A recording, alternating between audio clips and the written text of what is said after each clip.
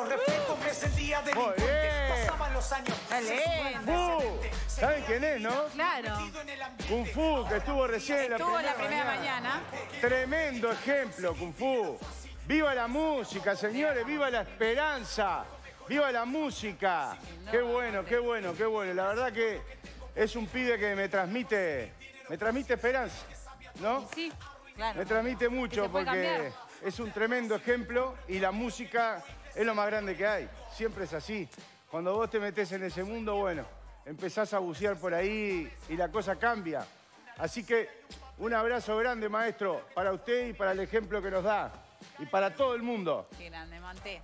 Muy lindo. Bueno, otra alegría también para varios de ¿Qué? acá. Ganó Peñarol, señores. Y bueno, ya- Bien, ganó Peña. Sí, sí, señores, soy aurinegro.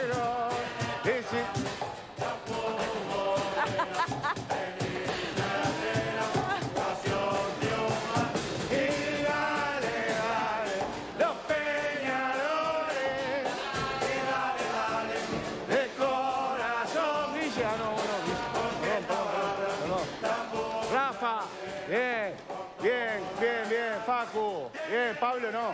Bien, bien, bien. Ganó Danubio. Ay, no está el Cholo, que hay dos de Danubio entonces. No te puedo creer, felicitaciones, Danubio, muy bien, también le ganó a Nacional. Mm, qué lío tenemos en puerta. Qué lío tenemos en puerta. ¿Por ¿Y qué qué? va a hacer? Y bueno. Danubio, franja negra, que la vida me ha tatuado, ni la muerte te podrá borrar jamás. Dice el himno. ¿Sabías? ¿No? Me encanta Gaby, ¿no? Eh, Y antes el, el antiguo era opa, opa, opa, opa, Danubio quiere copa y nadie se la toca. Opa, es lindo ese, ¿eh? También.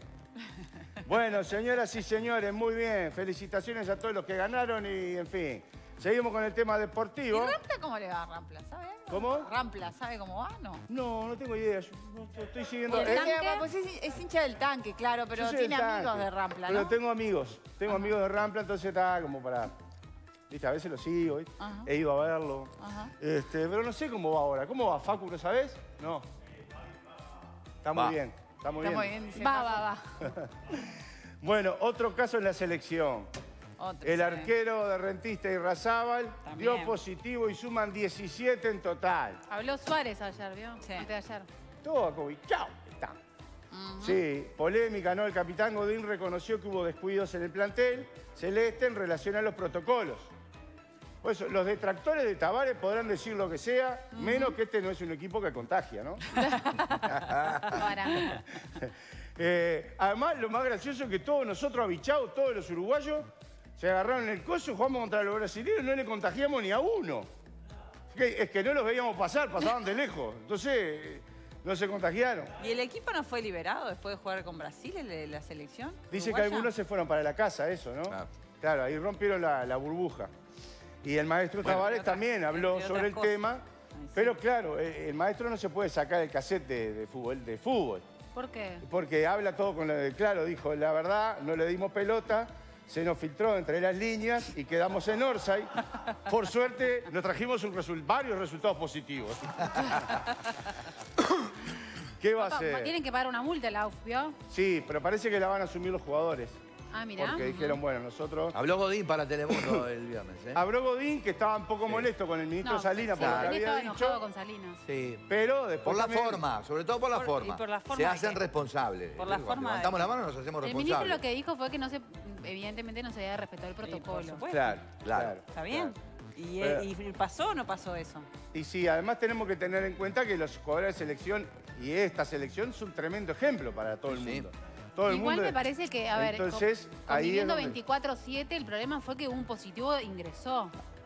O sea, después es muy difícil. Claro, una también daba el es como una ejemplo- familia. Es muy difícil, pero hay cuadros acá que también disponen de quizá de menos recursos que lo que dispone la selección y hay cuadros que han tenido casos positivos y han sabido hacer las cosas de determinada manera y no han contagiado a todo el grupo. O sea, no se respetaron determinados eh, no, protocolos y es así, no se hizo Sí, bien. y no por la foto que vemos, que es lo que Nos más... puede es- pasar a no por esa todos, foto, lamentablemente, Sino que pero- debe haber sido en otro lado, porque esa foto, bueno... Sí, claro.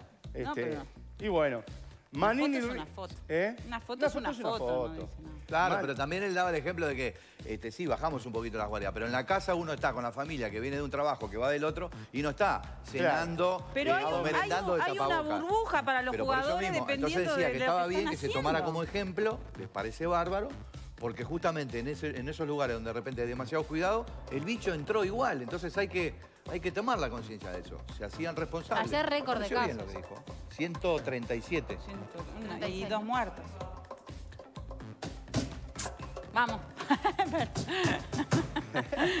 Nos enganchamos con el ¿Eh? tema. Nos enganchamos, les voy a contar otra más. Miren, miren, chicos. Manini Ríos reorganiza Cabildo Abierto y crea una mesa de conducción. Una mesa política, ¿no? Exacto. Una- un organismo, ¿no? Una mesa. Claro, como tienen todos los partidos. Lo que pasa es que Claro. es un partido tan joven que no tuvo, Claro. no tuvo tiempo. El senador Manini Ríos impulsó la creación de una mesa política de Cabildo Abierto que define prioridades y estrategias y permita coordinar las acciones ejecutivas y legislativas de los principales dirigentes. La integran Salinas, Irene Moreira, que es la esposa de, de Manini.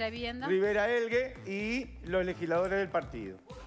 No, no, yo no estoy, yo no estoy. Yo soy militante, pero de base, de base. Ah, de base. El Rafa está segundo. claro, ¿por qué hizo esto? Porque viste que se le retomó Luz.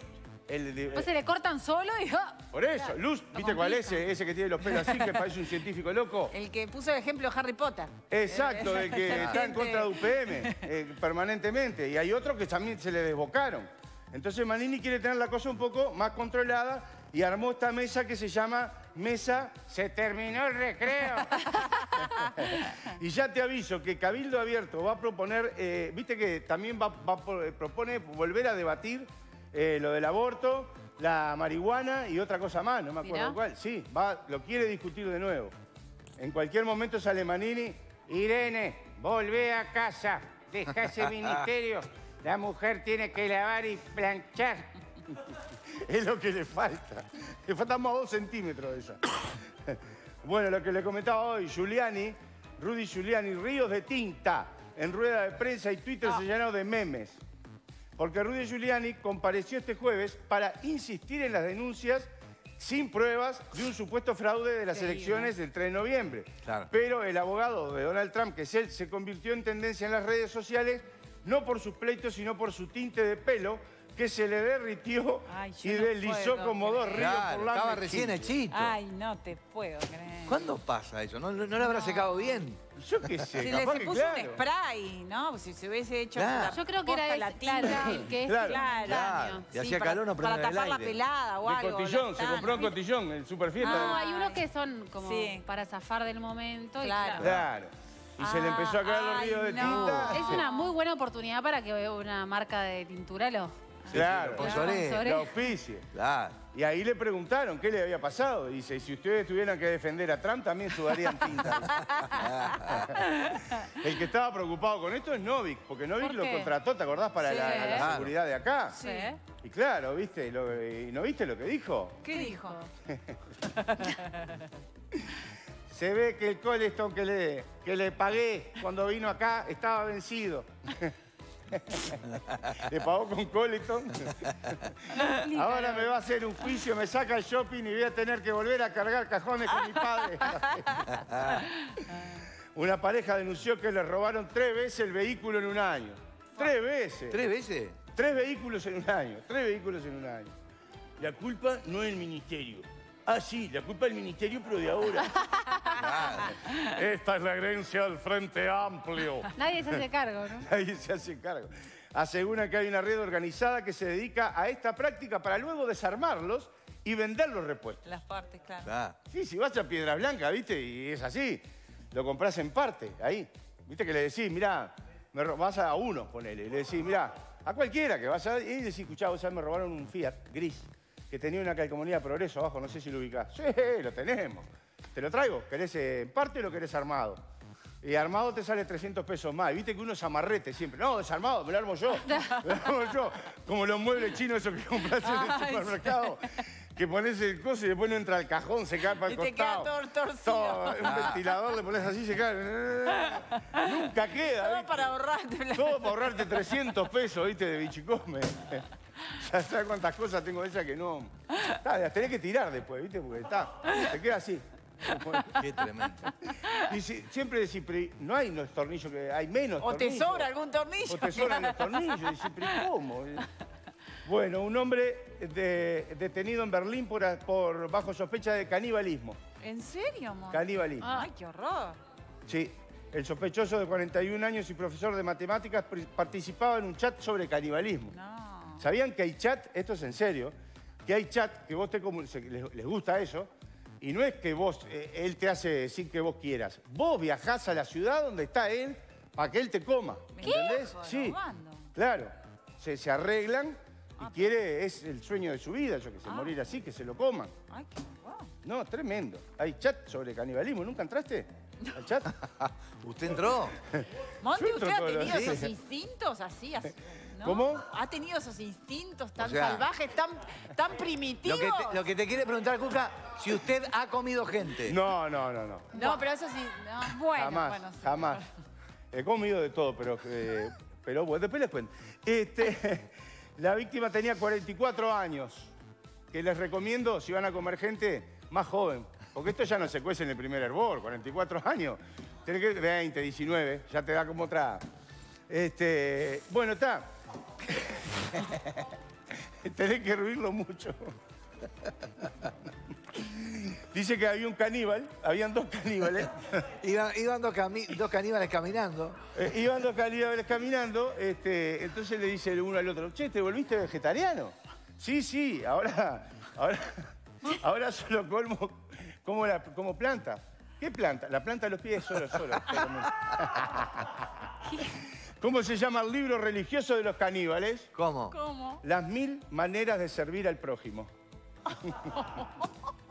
Vieron que siempre hay un explorador, eh, eso de caníbal, los chistes de caníbal, siempre está en una olla y el explorador adentro, Claro, que lo sí, meten los sí. caníbales ahí, el explorador. Claro, y viendo cómo ahí, zafa. Horrible, ¿viste? Y todos los caníbales alrededor, así como pre- pre- preparando el sal- sazar, la pimienta, todo.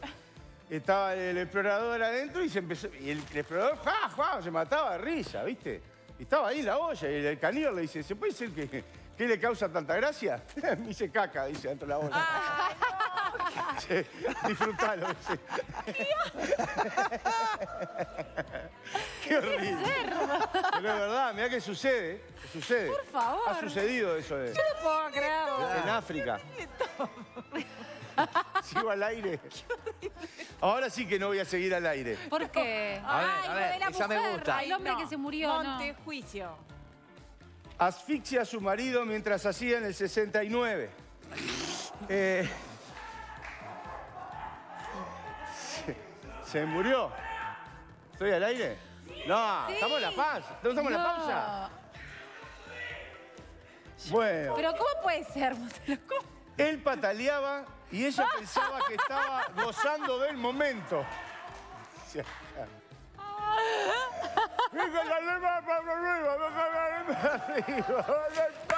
Por favor, Ay, Dios, vos, te voy a decir una cosa. Me voy antes que Cuca me pregunte. ¿A usted le ha pasado eso, Monte? Ay, Dios, bueno. Bueno. Qué disparate, no puedo creer. qué disparate. Perdimos, perdimos a Edu, perdimos a Edu. Yo creo que esto nació de una reunión que tuvimos hace unos días en la sala, ¿eh? que estábamos hablando ¿De qué? de caníbales. No, no, tremendo.